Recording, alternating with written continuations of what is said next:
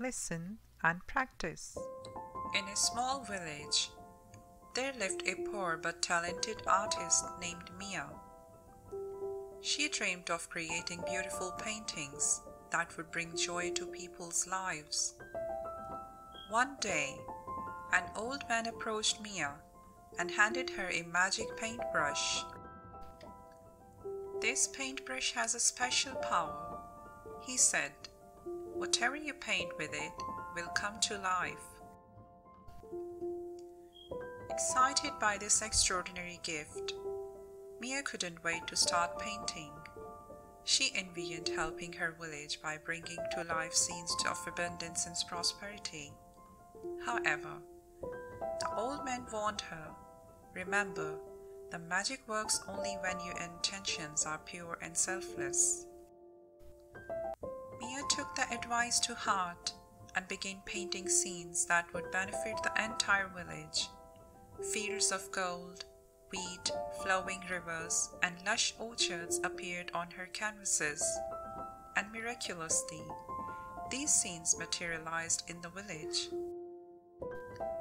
News of Mia's magical paintbrush spread far and wide, reaching the ears of a wealthy and greedy man named Mr. Grumbleton. He approached Mia and offered her a bag of gold in exchange for the magic paintbrush. Mia hesitated but ultimately declined the offer, realizing that Mr. Grumbleton's intentions were selfish. Undeterred, Mr. Grumbleton decided to steal the paintbrush while Mia was sleeping.